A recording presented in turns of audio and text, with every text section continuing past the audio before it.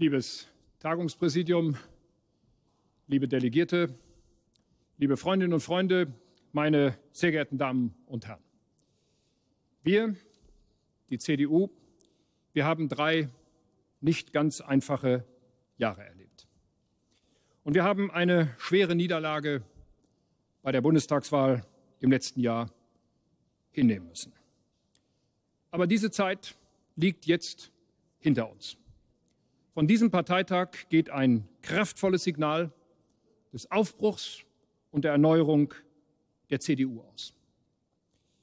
Wir haben unser Selbstvertrauen nicht verloren und auch nicht unsere staatsbürgerliche Verantwortung für unser Land. Gerade wegen der neuen Regierung hier in Berlin hat Deutschland Anspruch auf eine Union aus CDU und CSU, die dem Land weiter dient, die Antworten gibt auf die drängenden Fragen unserer Zeit und die als Opposition von heute zunächst den Anspruch an sich selbst stellt, wieder die Regierung von morgen sein zu können. Täuschen wir uns nicht. Bis dahin kann es ein weiter Weg sein.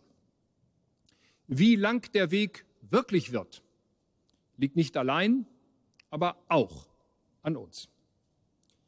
Wenn wir uns streiten, wenn wir in alle Himmelsrichtungen auseinanderlaufen, wenn wir ein unklares Bild abgeben, wenn wir bei den Themen nicht auf der Höhe der Zeit sind, dann wird es möglicherweise sehr lange dauern. Und selbst dann ist es nicht gesagt, dass es überhaupt gelingt. Wenn wir aber schnell Tritt fassen, wenn wir offen sind für interessante Diskussionen, wenn wir einfach Freude daran haben, an der Gestaltung unseres Landes, an der Gestaltung der Europäischen Union und vor allem an der Verbesserung der Lebensbedingungen der Menschen in unserem Land aktiv mitzuwirken, dann kann in der Niederlage auch zugleich ein neuer Anfang, eine neue Chance für uns liegen. Ich bin jedenfalls fest entschlossen, diese Chance mit Ihnen allen, mit dem neuen Präsidium, mit dem neuen Bundesvorstand, mit allen unseren Mandatsträgern, mit unseren Mitgliedern und auch mit denen, die neu dazukommen wollen, mit Ihnen allen zusammen, bin ich fest entschlossen, diese Chance zu nutzen.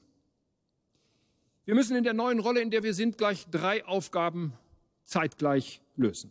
Erstens wir müssen kraftvolle Opposition im Bund sein. Zweitens, wir wollen Wahlen in den Ländern gewinnen. Und schließlich drittens, nur Opposition zu sein reicht nicht. Wir wollen eigene Antworten geben und auch ein neues Grundsatzprogramm verfassen. In der Opposition, liebe Freundinnen und Freunde, brauchen wir keine Rücksicht mehr nehmen auf Koalitionspartner.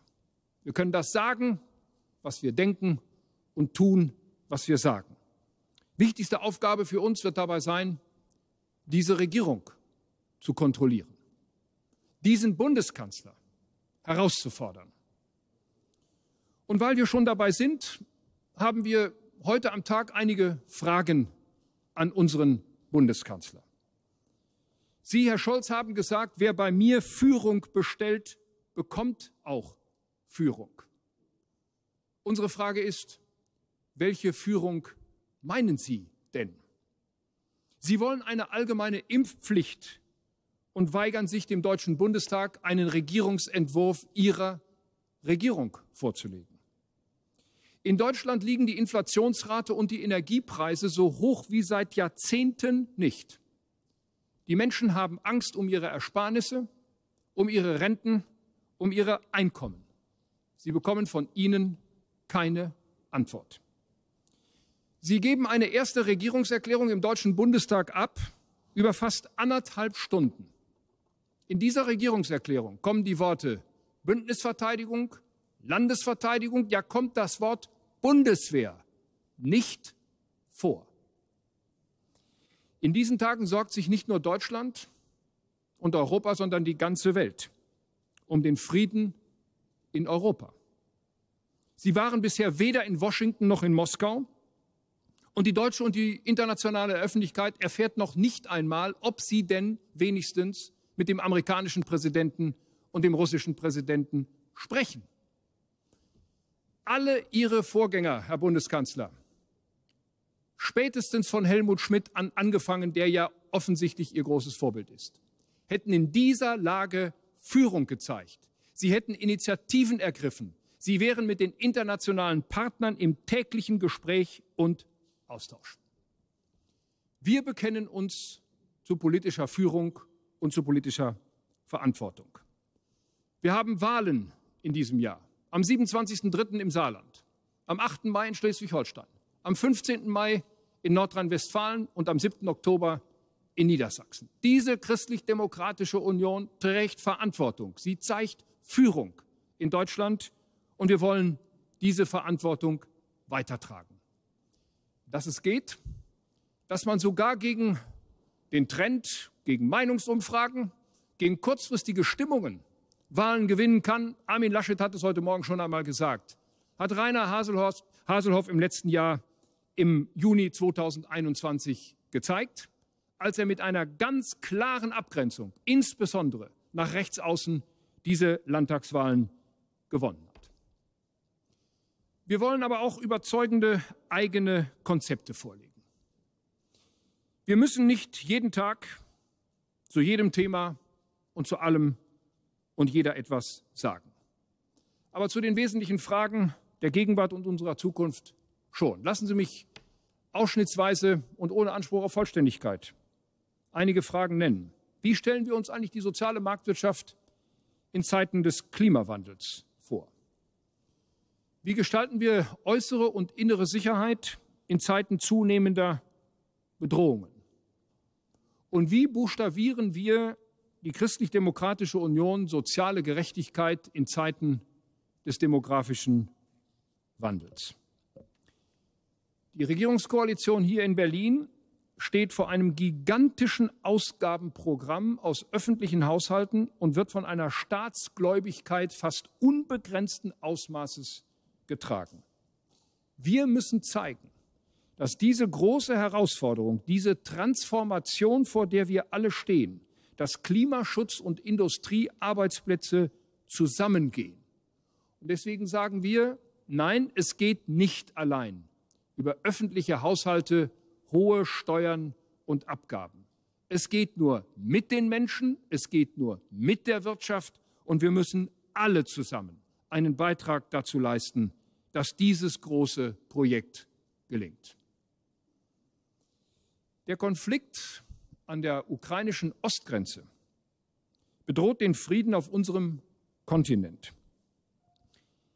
Wir wissen, dass die innere Sicherheit in unserem Land zunehmend durch politischen Extremismus gefährdet ist. Die zunehmende Radikalisierung eines Teils der deutschen Gesellschaft ist eine, groß, ist eine große Herausforderung für alle Demokraten in unserem Land. Uns besorgt insbesondere die massive Radikalisierung rechts außen. Von dort verläuft eine direkte Linie bis hin zum Mord an Walter Lübcke, der sich im Juni diesen Jahres zum dritten Mal jähren wird. Nicht nur deshalb, aber auch deshalb stehen wir gegen jede Form des politischen Radikalismus. Wir stehen auf der Seite der wehrhaften Demokratie. Wir stehen hinter unserer Polizei und gegen jede Form des politischen Radikalismus, egal ob er von rechts oder von links kommt. Und schließlich die Sozialpolitik. Ja, liebe Freundinnen und Freunde, die Sozialpolitik ist nicht der Reparaturbetrieb des Kapitalismus. Wir sagen soziale Marktwirtschaft. Und das Soziale ist konstitutiver Bestandteil unserer marktwirtschaftlichen Ordnung. Wir werden zwei große Fragen beantworten müssen, wenn wir auf den Weg gehen dieser auch neuen inhaltlichen Ausrichtung unserer Partei. Wir müssen zum einen die sozialen Sicherungssysteme zukunftsfest und demografiefest machen.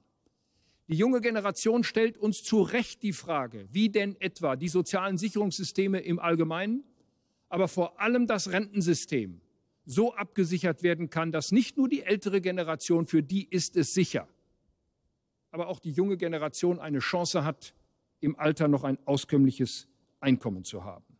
Das wird wahrscheinlich für uns die größte, auch intellektuelle Aufgabe sein, hier neue Vorschläge zu machen. Und schließlich das alte Versprechen der christlichen Soziallehre und der evangelischen Sozialethik ist bis heute uneingelöst, nämlich die Beteiligung der Arbeitnehmerinnen und Arbeitnehmer am Produktivkapital unserer Volkswirtschaft.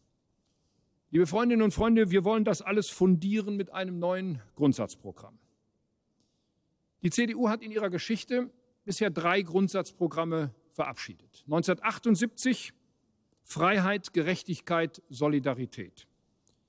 1994 Freiheit in Verantwortung. Und 2007 Freiheit und Sicherheit.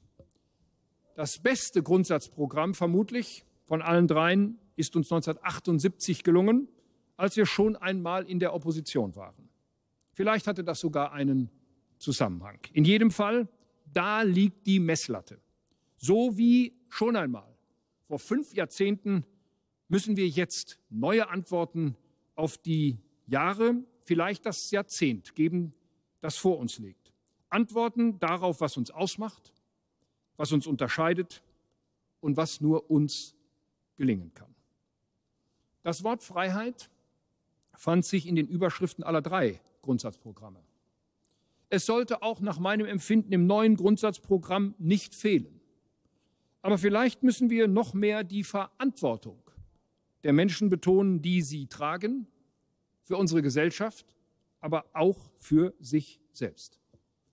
Und ziemlich sicher werden wir noch etwas intensiver über Chancen und Gerechtigkeit in unserer Gesellschaft nachdenken müssen. Auch und gerade über die Chancen von Kindern aus benachteiligten und bildungsfernen Schichten, die ohne eine aktivierende Hilfe unseres Sozialstaates und die ohne eine gute, ich sage eine bessere Bildungspolitik keine Chance haben, in unserem Land wenigstens einen bescheidenen Wohlstand aus eigener Kraft zu erarbeiten. Wir müssen dabei nicht alles neu erfinden. Wir können mit Dankbarkeit und auch ein wenig Stolz auf das zurückblicken, was in den letzten sieben Jahrzehnten in Deutschland maßgeblich unter unserer Führung und Beteiligung entstanden und gewachsen ist. Wir stehen auf einem soliden Fundament. Von diesem Fundament aus werden wir nicht einfach dem Zeitgeist hinterherlaufen. Im Gegenteil. Wir verteidigen die bürgerliche Gesellschaft und Familie. Wir fühlen uns Toleranz und Freiheit ebenso verpflichtet wie dem Schutz von Meinungsfreiheit, der offenen und notfalls auch streitigen demokratischen Diskussion. Wir hören zu und schauen hin. Und wir wollen den gesellschaftlichen Wandel nicht über uns ergehen lassen, sondern wir wollen ihn aktiv mitgestalten. Wir schützen die Familien. Wir sind Anwalt der Schwachen und der Menschen, die unsere solidarische Hilfe brauchen. Wir stehen zur Bundeswehr und zu unseren europäischen und internationalen Verpflichtungen. Wir wollen ein handlungsfähiges und ein starkes Europa, nicht einen übermächtigen europäischen Bundesstaat, sondern eine Europäische Union, die ihre Kernkompetenzen erfüllt, vor allem solche, die die Nationalstaaten eben nicht mehr allein bewältigen können. Wir spielen die gesellschaftlichen Gruppen nicht gegeneinander aus, sondern wir führen zusammen. Und liebe Freundinnen und Freunde, auch das ist eine Aufgabe, vielleicht sogar die wichtigste Aufgabe einer Volkspartei in unserer Zeit. Gesellschaftliche Konflikte schon einmal selbst aufzunehmen und auszutragen und dann zu gemeinsamen Lösungen, jedenfalls in unserem politischen Meinungsspektrum zu kommen. Und schließlich, wir wissen, dass Wirtschaft nicht alles ist.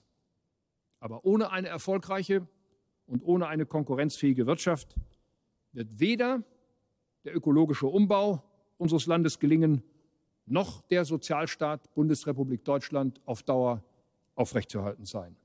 Deshalb haben Arbeitnehmerinnen und Arbeitnehmer, Unternehmerinnen und Unternehmer einen festen Platz in der Union. Auch das ist unser Grundverständnis von sozialer Marktwirtschaft.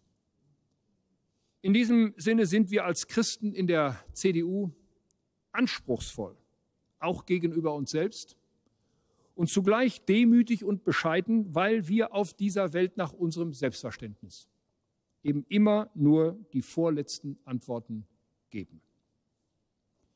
Wir sind liberal und offen, offen für Neues und sozial und bewahrend zugleich. Das ist sogar im besten Sinne des Wortes konservativ. Denn wie sagt Andreas Röder vor einiger Zeit, Konservative haben die Haltung verinnerlicht, dass uns das, was wir heute für unverrückbar halten, morgen schon als völlig falsch erscheinen kann und umgekehrt. Der eigentliche Vorzug, so sagt er weiter, konservativen Denkens ist, dass es vor Dogmatismus und Unbedingtheit schützt. Ja, liebe Freundinnen und Freunde, meine Damen und Herren, starke Basis, klarer Kurs. So haben wir das Motto dieses 34. Parteitages der CDU Deutschlands ausgewählt. Wir haben eine starke Basis. Wir haben fast 400.000 Mitglieder.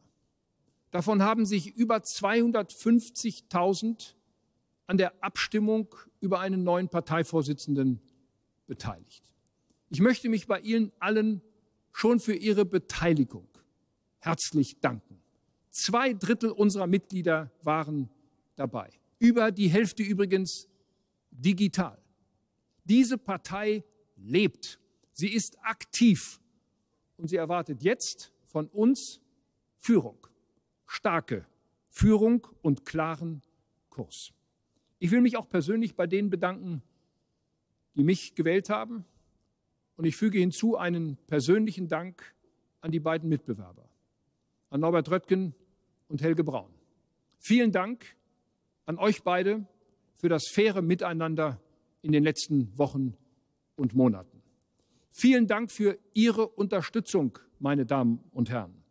Für den klaren Kurs müssen wir jetzt sorgen, die neue Führung der CDU. Aber vor der Klammer jeder Entscheidung in den Sachfragen steht die Frage um das Miteinander in der Union. Wir nennen uns bürgerlich. Und wenn das richtig sein soll, dann müssen wir uns vor allem selbst untereinander so verhalten. Und deswegen noch einmal und letztmalig von dieser Stelle. Das, was wir im Jahr 2021 in der Union erlebt haben, das darf sich nicht wiederholen und das wird sich nicht wiederholen. Ja, wir können streiten. Wir müssen auch in den Sachfragen miteinander ringen und wo Notfall auch streiten. Aber am Ende müssen gemeinsame Ergebnisse stehen, am Ende müssen Lösungen stehen und ich schließe hier ausdrücklich mit ein, CDU und CSU. Wir sind in einer so guten Kombination. Es ist fast eine kongeniale Konstruktion, um die uns andere europäische Christdemokraten beneiden. Wir schöpfen, wenn wir es gut und richtig machen, gemeinsam ein Wählerpotenzial aus, das wir für uns allein, CDU oder CSU, gar nicht ausschöpfen könnten. Deswegen machen wir uns von diesem Parteitag heute auf diesen Weg. Deswegen weiß ich, und wir wissen es alle, welche Verantwortung jetzt auf unseren Schultern liegt. Aber wir trauen es uns zu. Wir wollen diese Aufgabe beherzt, mit Mut und auch mit ein bisschen Fröhlichkeit angehen.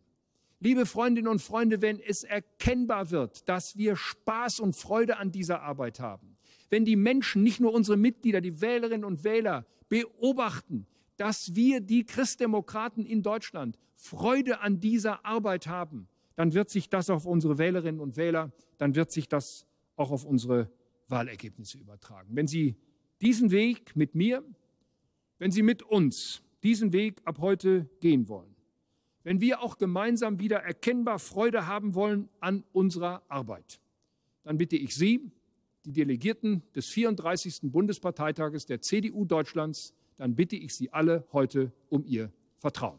Herzlichen Dank.